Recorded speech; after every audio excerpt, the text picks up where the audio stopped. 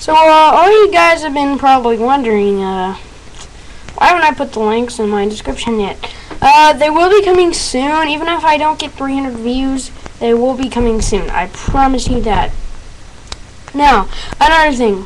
Modding Nazi zombies is not easy. It will take time. It will take practice. Well, not really practice, but, uh, you know what I mean. Um, but Modio will take a bit time to load up on your desktop, so don't get freaked out.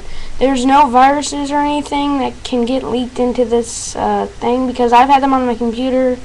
And uh, if you have like Norton Security or uh, anything like uh, like uh, you know like a desktop like this, it will be uh, it'll be fine. Uh, if you have Windows 7 or a Windows Vista computer. If you do not have a Windows Vista or a Windows computer, your computer will probably get trashed. So I this is just a warning message and use this at your own risk. Uh, that's just a message from me and uh, thank you guys for uh, watching my videos. And see you later.